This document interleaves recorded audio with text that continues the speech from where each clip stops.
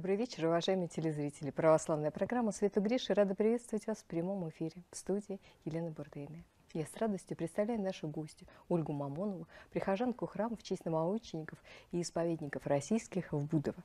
Добрый вечер, Оля. Добрый вечер. Да, я рада видеть, и я думаю, что наши телезрители прекрасно помнят, что наши встречи с Ольгой проходят в рамках э, цикла передач, посвященных исповедникам XX века. И сегодня мы поговорим о схиегумене Фомаре, грузинской княжне, основательнице Серафима Знаменского монастыря. Оля, судьба этой женщины вообще удивительна, наверное. О ней можно рассказывать, говорить и вспоминать. И столько людей, столько воспоминаний, слава богу, осталось и дошли до нас. Да, и воспоминания, и э, знаменитая картина а, «Матушка Фомарь» а, Павла Корина. А, в миру Тамара Александровна Марджанова, по-грузински Марджанишвили, происходила из дворянского рода, папа ее был полковник, а мамочка, а, она происходила из э, грузинского, а, а даже княжеского рода Чевчевадзе знаменитого. Тамара в детстве лишилась отца, а матушки своей лишилась в 19 лет. Но Господь был как-то особо милостив к ней. Потеряв родную мать, она, побывав в гостях у тети, которая предложила ей посетить Бадбийский монастырь, который когда-то был а, издревле мужской, а теперь стал женский, она встретила духовную мать, игуменю Ювеналию, которая приехала для восстановления этого монастыря, новой обители из Москвы, с шестью монахинями. Когда Тамара побывала на всеночной, и увидела матушку, которая читает и поет на клиросе, прониклась этой атмосферой, ее посетила мысль, что я хочу здесь остаться. Ну, как всегда бывает при таких обстоятельствах, а родственники стали против. Им казалось, она молода. И, да, ей а, же было 19 лет, по-моему. Да, ей было 19, 19 лет. лет она... а, Прекрасное и... образование, перспективы. Она была красавица, у нее были такие карие большие глаза. Правда, росточек она была маленького, метра пятьдесят два. А, но она была очень обаятельна, говорят, у нее даже был какой-то богатый жених. А вообще матушка готовилась э, к поступлению в Петербургскую консерваторию на вокальное отделение. Обладала прекрасным слухом и голосом. И вот э, родственники э, под предлогом оформления наследства увезли ее в Тифлис, возили ее по театрам, по операм. Но душа уже была у нее отдана Богу, и она тихонько, когда смотрела оперу, сама перебирала четки. А потом, значит, тоже она тайным образом уже теперь сама ушла от родственников. И родственники смирились, уже поняли, что это действительно ее путь. А, и так ее полюбила а, наставница старшая, игуменя Ювеналия, что даже поселила его в своей келье. А потом стала замечать, что молодая послушница Тамара иногда пропадает вечерами. И когда она навела какие-то свои справки, то узнала, что та значит, вместе с другими такими дерзновенными э, монахинями пытается э, рыть пещеру и подвязаться где-то в горах. Конечно, это остановила опытная монахиня, понимая, что возрастание духовное должно идти постепенно. А, и сама ее кормляла, настраивала на монашескую жизнь, подарила ей две книги а, Ава Дорофея и преподобного Серафима. Тогда он еще не был прославлен. И очень полюбила послушница молодая Тамара а, житие преподобного Серафима, что даже ей приснился сон, будто она идет с матушкой по коридору, а навстречу бежит преподобный Серафим. Изображения у него уже были, просто они были пока еще без нимба. И когда он э, сравнялся с монахинями, он мантию поднимает, как бы отгораживает их э, э, и э, отделяет как бы мантии друг от друга и говорит, матушка, благословите, обращаясь к молодой тогда еще послушнице. Она говорит, да нет, вот же матушка. А он опять повторяет, а, значит, свое пожелание. И за много лет он ей предсказал э, то, что она тоже будет настоятельницей впоследствии. Вообще вот пророческие такие предсказания в отношении будущей тогда еще матушки Фомари, конечно, они ее сопровождали. Да? Это удивительная встреча э, с праведным Иоанном Кронштадтским. Да, ведь он тоже, когда она уже, сначала он просто сказал Тамара, Тамара, благую часть избрала, а когда встретился уже а, опять уже э, Тамара а, как в мантии была пострижена с именем Ювеналия, их называли Ювеналия старшая, Ювеналия младшая. Или, или первая, вторая. Первая, вторая, вторая. да. И он тогда сказал как-то, что старший Винали, что снимай свои кресты. Она сняла послушно, и он надел их на молодую Виналию, тем самым предсказав, что у нее будет когда-то три монастыря. И действительно, что сбылось впоследствии. Мало того, батюшка а, э, Иоанн Кронштадтский подарил ей свою фотографию с надписью, и там он написал «Схемонахини», что тоже через много лет сбылось, потому что матушка да, в схеме стала вот как раз с именем Фомарь. Ну, мы так немножко вперед забежали, а если вернуться опять вот в этот период, когда новоначальная Тамара оказалась под духовным окормлением старшей первой ювенали. А, ну, они, они действительно духовно срослись, и когда вдруг в, 1900, в начале 1900-х, по-моему, 1902 а вдруг матушку старшую Виналию перевели на статницы Рождественского монастыря в Москве, то это для них стало каким-то даже горем общим. Они хотели вместе переехать в Москву. Но экзарх Грузии решил по-другому. Он сказал, что молодая Виналия станет сама настоятельницей Бадбийского монастыря. Тогда уже было где-то 180 сестер а, в монастыре. А, была школа внутри монастыря для девочек на 150 человек. Там им давали образование как бы учительницы начальных классов. То есть это было уже ну, огромный монастырь, можно сказать. Э, То есть большая ответственность. большая ответственность. А сколько на тот момент э, будущей схиегумени Фомари было? Когда она стала настоятельницей, ей это было 34 года. Ну, то есть тоже возраст такой вот, да, молодой достаточно. И а, она смирилась с этим и стала прекрасной настоятельницей. Ее все очень уважали, потому что она была очень предана православию. Везде любила аккуратность, чистоту, э, давала, являла сама собой вот такой пример любви. Мы знаем, что она носила вериги, э, что она действительно очень мало вкушала еды. Говорят, иногда ее обед это была какая-нибудь печеная картошка или запеченное яблоко. Вот сейчас, знаете, в мемориальной комнате хранится ее одежда, ее верики хранятся. И спала она на досках. То есть вот, ну, она это все прикрывала. И, конечно, а, про нее иногда пишут, что она была властный человек. Но а, с другой стороны, все говорят, это была такая любовь. Это был просто властный человек, который управляет, а, руководит. Сейчас бы мы сказали, ну, предприятие нельзя сказать, но довольно большим хозяйством. Организации. да, да. Такой вот. Надо же было и духовный пример давать, и, мати- и материально, да, все это устраивать. Потому что Ан Восторгов, который э, посетил тогда э, обитель, он сказал, что ну, матушка даже ему пожертвовала деньги большие, зная, что э, тоже вот он был в паломничестве и для, его, и для нужд миссионерских матушка действительно с этим справлялась. И здесь опять преподобный Серафим а, являл такие вот помощь чудесную в ее жизни. А, на прославление сама матушка не смогла попасть, она а, послала свою монахиню Агнию и попросила привести икону Серафима Саровского, которая бы была бы освящена на его мощах.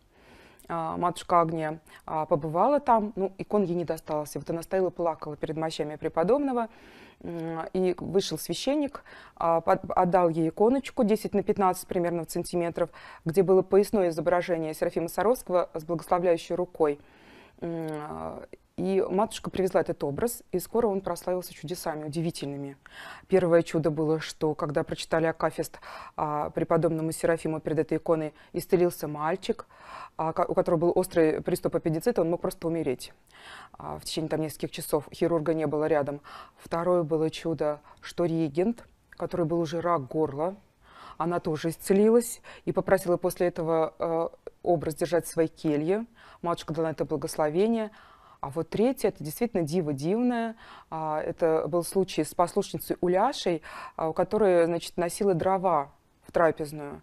И на нее упала огромная поленица дров – так что, когда ее подняли, это был, знаете, уже человек между жизнью и смертью, было очень много переломов, а, были смещены внутренние органы, и врач сказал, что вот ну, несколько часов этих мучений она отойдет, а, даст Бог к Господу. И а, матушка благословила одну монахиню молодую, положить ей прямо на грудь икону умирающей Уляши и сделать поклончик, чтобы ну, Бог уже взял ее к себе. Значит, э, молодая монахиня была боязлива. Они положили на грудь Уляши икону, сами закрыли дверь и стали наблюдать в замочную скважину. И вдруг увидели, что Уляша встает сначала с постели, а потом встает э, на пол. И они, значит, в ужасе и радости одновременно побежали к настоятельнице.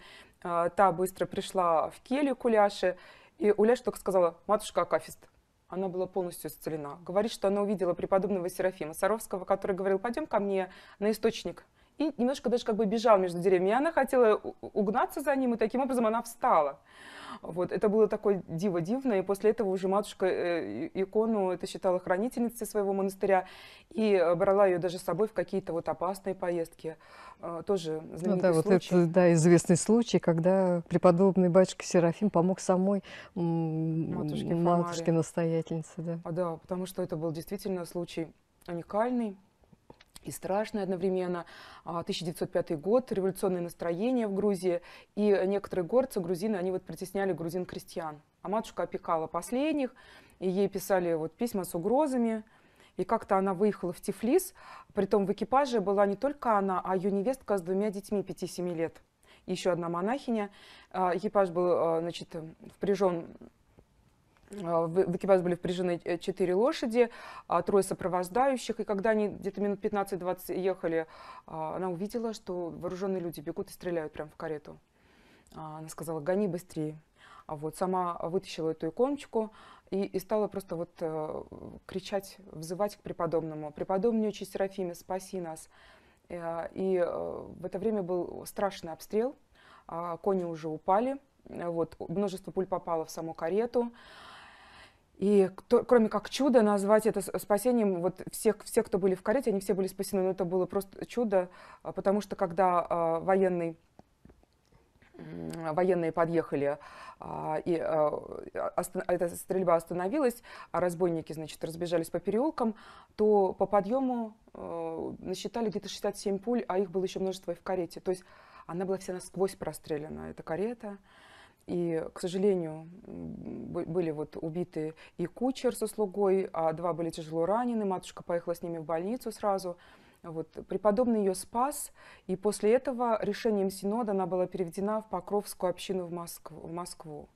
То есть она с настроением, вообще с желанием покидала свой нет, родной уже нет, монастырь? это была большая грусть, и многие пишут в мемуарах, что она даже не любила вспоминать этот период. Хотя он ей подарил знакомство с, с Елизаветой Федоровной потому что Покровская а, община, она была на тех же принципах построена, как Марфа Мариинская. Там могли работать сестры милосердия, не будучи монахинями. монахинями. И в это время они как раз сблизились. И впоследствии Елизавета Федоровна даже приезжала в Серафимо-Знаменский скит и даже ночевала там. Была особая дружба у них такая духовная. И э, в это же время, наверное, примерно это уже вот а, значит, 1907 э, год и позднее, она стала ездить в Серафимо-Понятаевский а, монастырь под Саровом. 12 километров было от Сарова. А, в скиту, в монастыре, извиняюсь, был э, образ чудотворной знамени, иконы знамени Божьей Матери. И здесь у нее возникли мысли уйти в затвор. Вот, и она стала усердно молиться, а и даже присмотрела себе домик, и даже деньги э, как бы отдала, что вот, может быть, здесь будет домик, и меня благословят на этот затвор. И вот когда она подошла к иконе перед отъездом, вдруг она услышала довольно так явно голос, который сказал, не надо, не надо уходить в затвор, надо тебе создать скит для себя и для других. И еще раз она подходила, и опять голос этот она услышала. Ну, во-первых, она была тоже уже опытная духовно, она понимала, что это может быть прелесть, а во-вторых, наверное, так ее было э, великое желание жить рядом с преподобным, который явил столько чудес, что, конечно, она старалась все-таки выполнить в какой-то момент свою волю. Да, и она обращалась и к старцам, к духовникам известным, но все как один сказали ей, да. что надо строить скит да, надо строить скит. А, если говорить немножко об этой судьбе иконы Серафима Саровского, да, э, то она через Елизавету Федоровну отдала эту икону mm-hmm. по просьбе великой княгини а, цесаревичу Алексею. И в изголовье часто эта икона стояла, потом ее судьба затерялась после расстрела, да, вот в Ипатьевском доме она была найдена. А, ну, предполагаю, что, может быть, она где-то в частных коллекциях, где-то есть э, за границей, все-таки она где-то спасена. Матушка говорила, я бы узнала эту икону из тысячи икон. Но вот пока вот она как-то прикровенно, может быть, она не открывается нам. Вот, а и вот когда, значит, э, матушка э, искала уже воли Божией, а, и архимандрит Товия, а, наместник, который Сергей Лавры, ей даже уже строго сказал, что я тебя благословляю строить скит, а, тогда стал вопрос о том, а какое же место найти достойное, чтобы все-таки этот скит Божьей Матери, Серафиму Саровскому посвященный, какое же место вот, э, будет. И э, мы знаем, что у Покровской общины было как раз два дачных участка. Один в Серпуховском уезде, другой в Подольском. И вот матушка приехала в Подольский уезд посмотреть на место, которое просила себе управление железной дороги, чтобы добывать песок. И вдруг, когда она значит, там побывала, она поняла, что это идеальное место для скита. Просто. Но там тоже вот эти сложности, которые были связаны с управлением да. железных дорог, они тоже появились, но чудесным образом, опять же, были решены. Были решены. И а, в 1910 году была закладка храма а, вместе с архитектором Щусевым а, значит, был э, разработан и построен этот храм, красивый очень, жемчужина вообще начала 20 века. Даже тогда э, искусствоведы, они даже грамоту ей дали, что вот за этот вкус, за этот удивительный красив, красивый храм.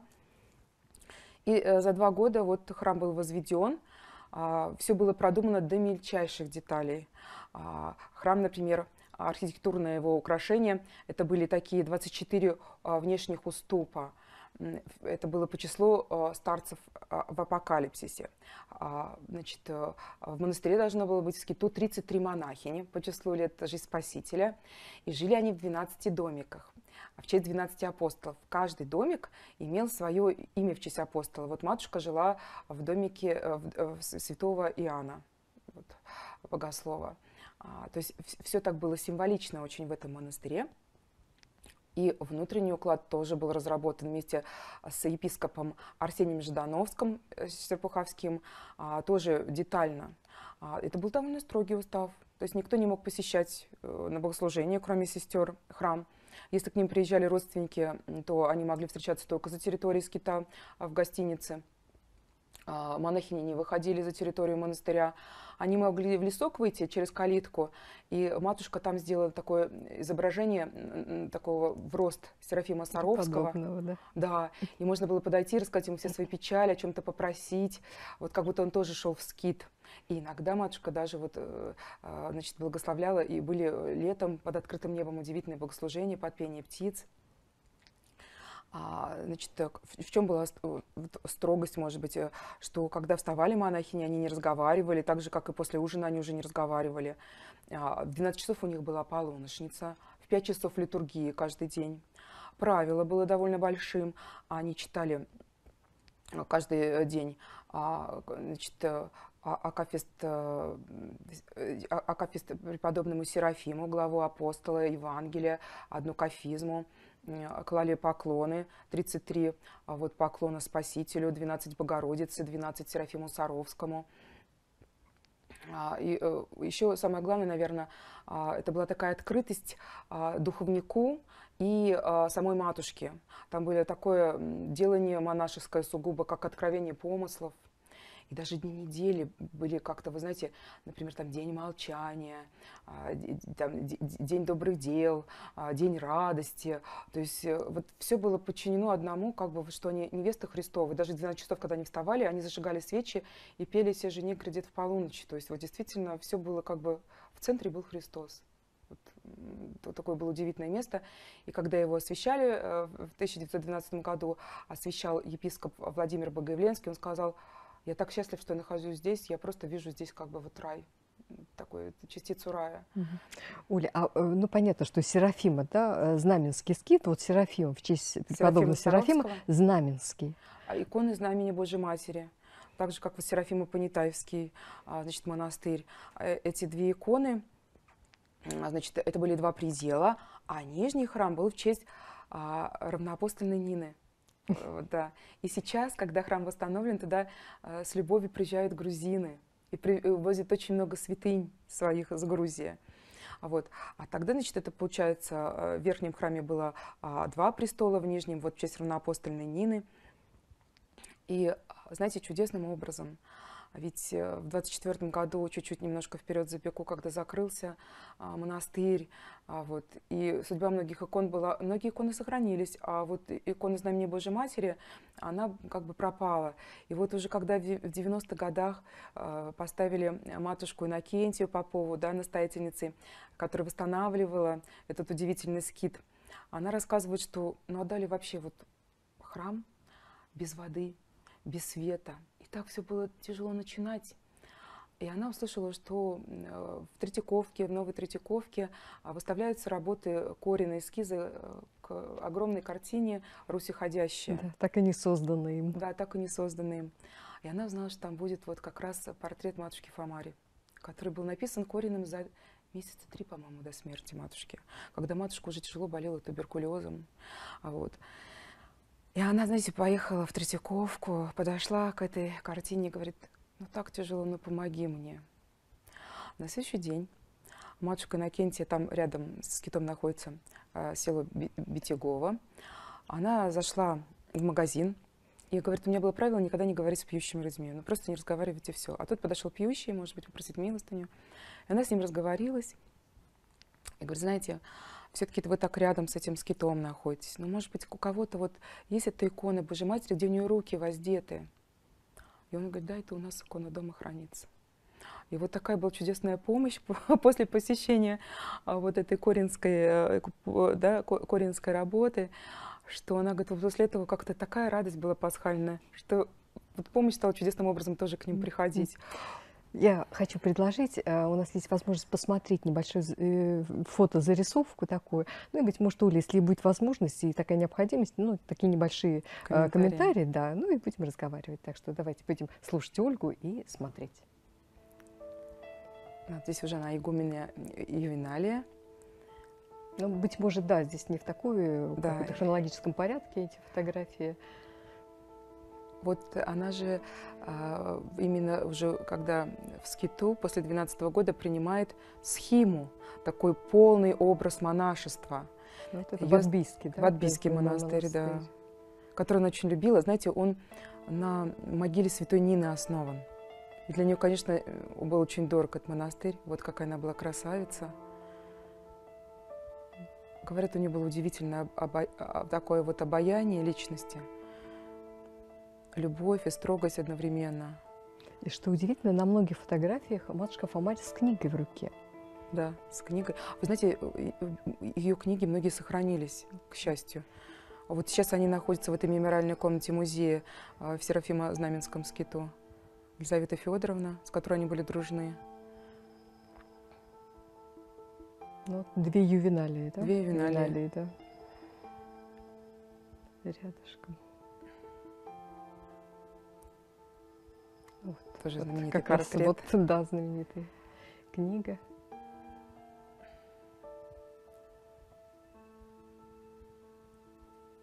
Вот Серафим Звездинский и Арсений Ждановский, которые жили в Скиту а, с 19 -го года, полтора года. А, ну, причем такое послушание, ведь матушке Фомаре сам патриарх Тихон дал. Да, чтобы оберегать их жизнь. И даже она сделала киновию с храмом а, святого Арсения, где они каждый день служили литургию. И Арсений Ждановский, он вот 12 лет окормлял сестер. Вот иконочка ее.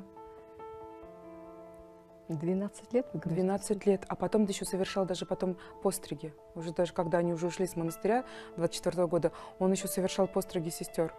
И матушку он окормлял, он даже ее отпевал, он ее вот до смерти с ней, они, у них были в духовном родстве. Вот как раз вот этот знаменитый, знаменитый портрет. Это, да. О нем разные говорят. Некоторые, кто ее знал, говорят, ну тут вот нет этой любви, которая она, этого ласкового взгляда. Но ведь это же было за несколько месяцев до смерти. Вот э, как раз эта комната, мне кажется, здесь мемориальная. Да, да. Как сейчас вообще э, вот в скиту чтят память матушки Фомари? А вот как раз, э, мне кажется, настоятельница. Настоятельница да, Иннокентия да, Попова. Да.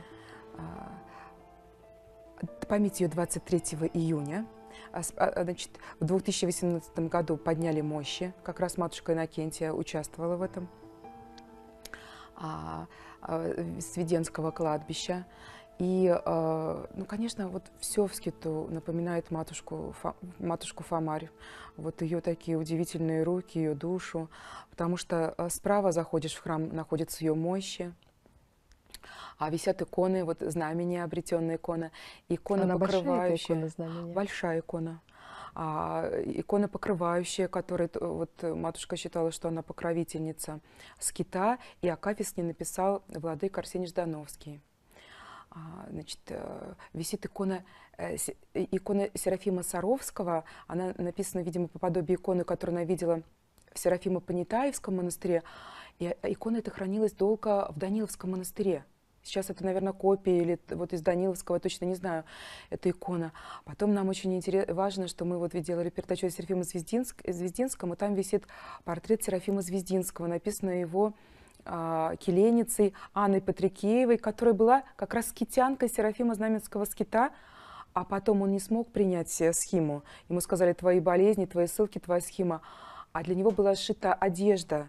И вот эту уже э, э, одежду схимни, схимника, она как раз вот была одеждой матушки Анны, схимницы. А, то есть это тоже все хранится в мемориальной комнате. Вот книги, вы сказали, хранятся, ее иконы хранятся, портреты Анны Кронштадтского, подписанные лично. Очень много вещей, мебель сохранилась. Вот. То есть, знаете, там вот этот дух, наверное, матушки, он везде. И мне кажется, даже матушка, а вот Иннокентия, она этот дух продолжает, потому что я слышала часть ее экскурсии. Она говорит, это с такой с любовью к Грузии, вот, с любовью к матушке. Причем они же побывали, когда начинали восстанавливать Серафимо-Знаменский скит, вот э, а, матушка вместе с своими сестрами да, съездили в Бадбийский монастырь. Да. И да? Бадбийского монастыря, в общем, здесь побывала, я думаю, наверное, когда подняли мощи.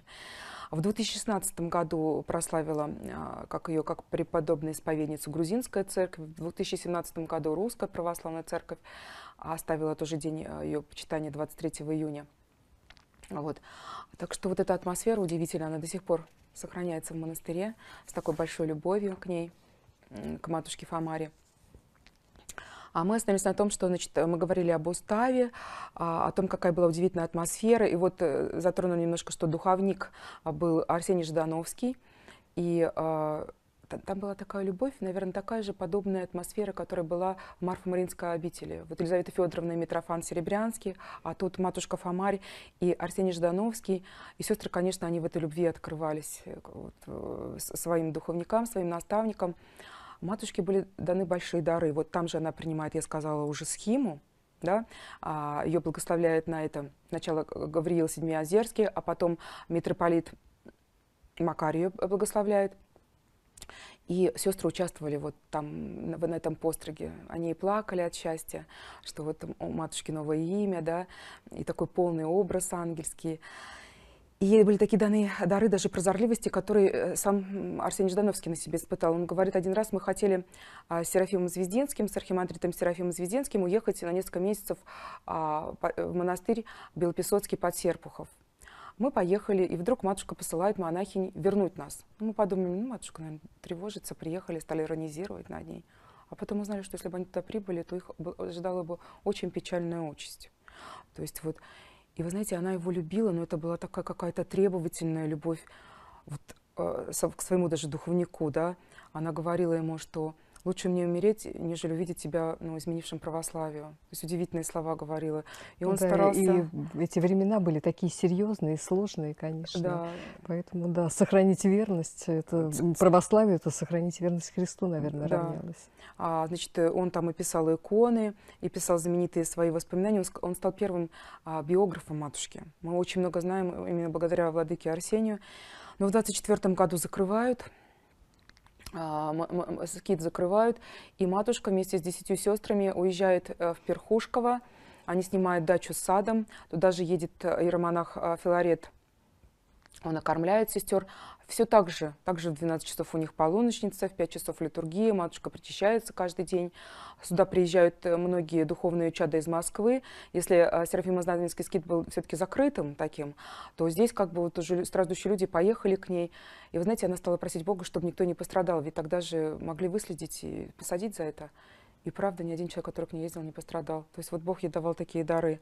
Она всегда обращалась к преподобному Серафиму. Знаете, он ей был как вот духовник живой, который вот руководил ее по жизни. Она говорит, ну как преподобный правит, вот э, столько чудес по его молитвам.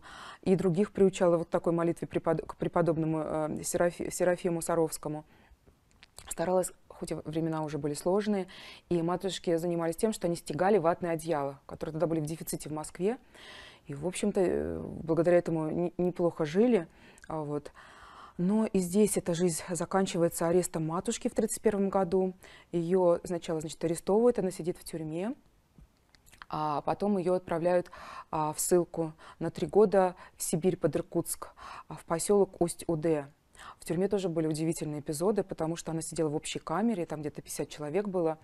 А все, что было с ней связано, это было так белоснежно, кристально, воздушно. И даже там нашлось какой-то белый полог, за которым она молилась.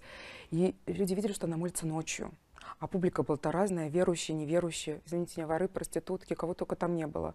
А вот. И они, видя, что она ночью умолится, они днем а, старались, когда она чуть-чуть хоть спит, они говорили, все, тише, матушка спит. Вот. И как-то иногда начинались какие-то, может, грубые разговоры, и когда она просила, они останавливались. И даже описывают эпизод с проституткой, которая какую-то неприличную хотела устроить сцену. Она посмотрела на нее, матушка, так спокойно сказала, друг мой, если ты будешь так себя вести, я не буду тебя любить. И та перестала. И когда она уходила, все подходили под благословение. Она все свои продуктовые передачки всегда делила, каждого, каждому раздавала. И люди прям плакали, что она уходит. То есть вот она уже была таким человеком, как вот призывал Серафим Саровский, «Сте же сам дух мирен, вокруг тебя тысячи спасутся». Вот. А, и она, значит, э, матушка отправилась по этапу в Сибирь, и с ней пошла одна послушница Нюша и монахиня Елизавета – такие верные тоже. И вот три года ссылки э, не в самом Иркутске, к сожалению, а уже под Иркутском, а, где было очень холодно, минус 50. И у матушки именно там открылось вот, э, знаете, это, болезнь, это туберкулез. И даже она описывает где-то, что э, ноги так были простужены, и, и даже пятки, да, то есть вот какие были холода. Но и там она стяжала вот эту любовь удивительную. Люди иногда приносили ей тайную еду. Детки маленькие пели. Она очень любила цветы. Ей в сковородке. Не было вас. В сковородке приносили какие-то синие цветы, которые, она говорит, не пахли, но они все равно были красивые. Вот. И а, матушка, знаете, она даже написала несколько стихов. Я бы хотела один прочесть стих, одно стихотворение, которое написала именно в ссылке. Мои переживания в Усть-Уде. Грустно, скучно, непокойно. Сердце рвется на клочки, Что-то видится далеко, сквозь духовные очки. То ли близкие страдают в безотрадной суете, То тебя ли ожидают испытания на земле.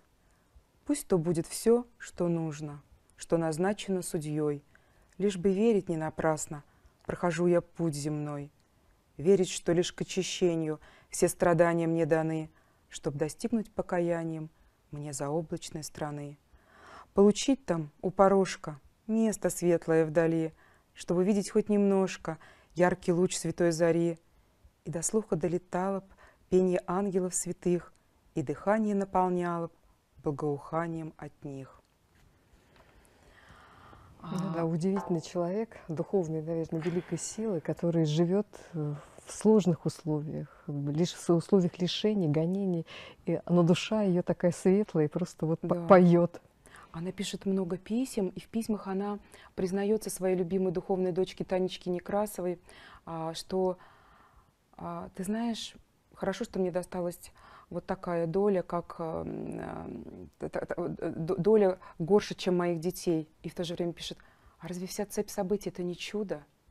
И когда она уже возвращается в 1934 году, а, она уже тяжело больной человек, к ней еще приходят люди, ее кормляет Арсений Ждановский, но она уже готовится в эти заоблачные дали, о которых она здесь пишет, где она увидит луч зари. И а, умирает она в 1936 году, ее хоронят на Веденском кладбище, ставит белый крест, на котором две иконы а, Серафима Саровского и знамения Божьей Матери, и написано «Веруй в меня, им от живот вечный». Вот такой вот итог ее жизни. А, и э, отпевал ее, мы знаем, Арсений Жидановский. Вообще обретение мощей, оно состоялось э, по благословению, это уже в каком году было? В 2018 году, в 2018 году, 10 июня, перед как раз ее, 23 июня, перед ее днем вот, э, памяти. Мгм. Так что Последние годы жизни, вот она провела, все равно люди к ней текли, несмотря ни на текли, что. хотя она да. уже не вставала, и она все равно кормляла, и люди ее вспоминают вот как человека огромной любви. Но уже вот это отразил, наверное, корень. Она уже смотрела в заоблачную даль, она уже смотрела сквозь земное туда. Да, ну портрет вообще удивительный, который ну, не должен был в это время появиться Да. в, в стране, в советской России. И он не уничтожен. И многие ее узнали именно через этот портрет, а потом уже стали интересоваться, кто такая была матушка Фомарь. Да, вообще удивительные люди, которые, наверное, для нас, для всех, э, находящихся и проживающих в хорошей, комфортной обстановке, наверное, такой пример, к которому нам можно стремиться. Те вершины светлые, которые простираются перед нами. Оля, огромное спасибо за интересный рассказ. Ну а с вами, уважаемые телезрители, мы сегодня прощаемся. Говорим, как всегда, до свидания и до новых встреч.